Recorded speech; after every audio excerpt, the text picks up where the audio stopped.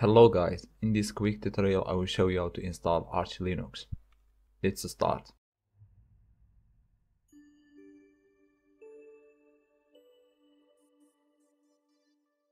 First boot from Arch Linux ISO and click Arch Linux install medium.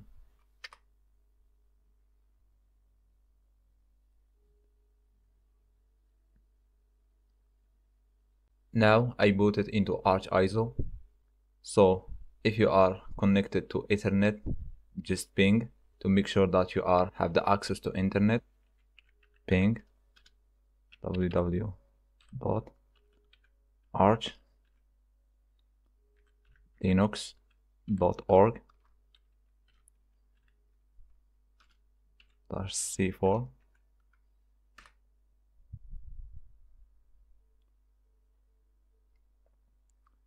nice now I'm connected to internet. If you have a Wi-Fi this is the command that you should type. First type iwctl and click enter and type device list. Device list will show you all the devices and then type station will WLAN 0 get dash networks and then click enter. In my case I'm not connected to Wi-Fi that's WLAN 0 is not found but in your case it will show you the Wi-Fi around you. So after doing this command just type station WLAN 0 connect and here just type your Wi-Fi name.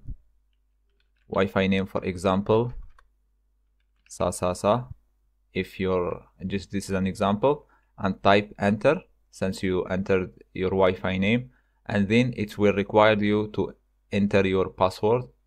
And after you enter your password just exit and then do ping to make sure that you have the access to internet because Arch Linux is installed through internet so now just exit and let's clear screen.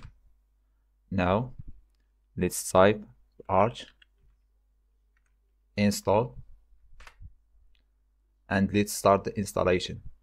Testing the connectivity to arch linux mirrors. Just a few seconds. And here all the steps that we should do before we install Arch Linux. So the first option to choose language, for me I will continue with English. Here is the mirrors, let's click enter on it. And let's click mirror region and put slash and write your country name. For me Spain and click back now click on locals. And here you can change your keyboard. So for me I'm just going to continue with USA keyboard. English USA that's fine for me. But if you want to change your keyboard you can change it from here. It's back. And here we have the disk configuration. So let's click on it. And click on use a best effort default partition layout and here I have 21 gigabyte I will select it. Here you can choose the file system that you want. We have Btrfs and we have ext4 Btrfs it has like a lot of features especially it supports snap. You can make snap of your system quickly. And the ext4 it's like the standard one for a Linux system. It's so stable. If you are using Arch Linux for a server, it might be recommended to use a Btrfs. But if you are using uh, Arch just on your desktop, maybe go with uh, ext4. It's standard one, so stable. So choose any one of them. For me, I'm just going to continue with ext4 because it's so stable. Here is we have the option of bootloader so i'm just to continue with the GRUB you can change it if you want the swap area yes by default I will uh, continue. Here is the host name. You can leave it as arch linux or you can change it to whatever you like. Let's make it just arch. Here is a root password. You can create a password for your root account. So let's make one. Let's type the root password and click enter. Retype it again here is you can add a user account. Click enter and click add a user. Type your username.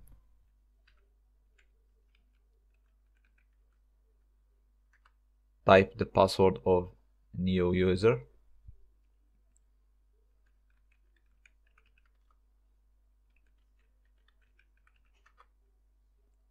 And here is we have two options to add this user to sudo list or no just go with default. Yes this user will have the access to sudo.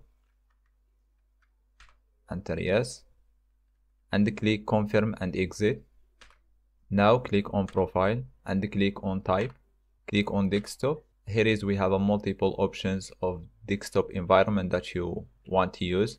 So you can use any one of them especially the famous ones we have here gnome Hyprland and e3w and KDE and so on. So for me i'm just going to continue with KDE here is we have the graphics driver all the open source. I'm going to use the open source in this video. But if you want to use nvidia drivers here is you can choose them or whatever you are using. So for me i'm just going to continue with all the open source default. And here you can choose sddm or lightdm or whatever you like to use. For me i'm just going to continue with sddm and click back. Here is the audio server. Click on it and choose the audio server. For me i'm just going to continue with PipeWire. Choose PipeWire or PulseAudio. For me i'm just gonna continue with PipeWire. It's work for me. And here is we have the kernel. So you can choose the kernels that you want to use. Standard kernel or linux lts or zen for me i'm just going to continue with the standard one. And here we have additional packages if you want to install any additional packages. So for me I'm just going to install Vim and Firefox. And Tilix it's my favorite terminal and here we have network configuration. Use network manager to have the access to internet. So click on it. And here we have the time zone. Click on it and click slash. And choose your area. For me gonna choose Africa. Slash Casablanca and here we have the option automatic time sync just leave it as true. And the last option is optional repositories. If you want to customize it it's up to you. Here we have multi-lib and testing. You can choose multi-lib. And you can save the configuration if you want to install it i mean next time without entering all these options. You can save this file and just use it another time or just click install now let's install the system and click enter again. And now let's wait until the system finish installing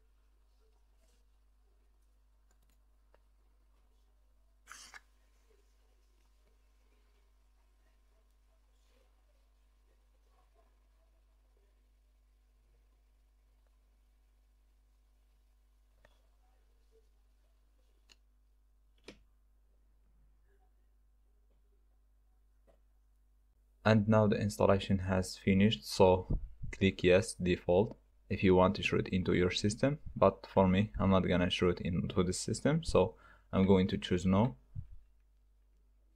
And click enter. Now just reboot your system. Alright reboot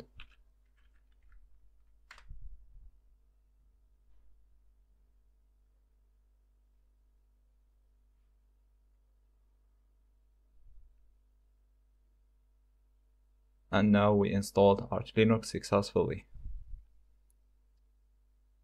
Here is we have Plasma Wayland session and Xorg. So let's enter the password.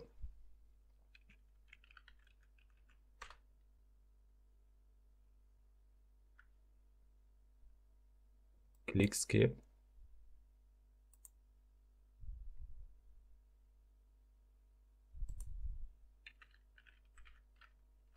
Tilix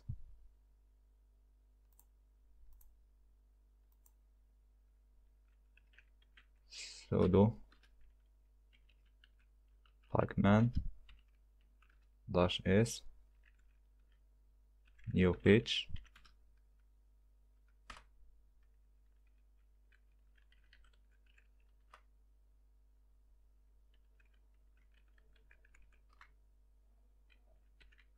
click Y, enter, clear the screen, new page. That was everything for this video. If the video was useful to you, please subscribe to channel and put a comment and see you in the next video.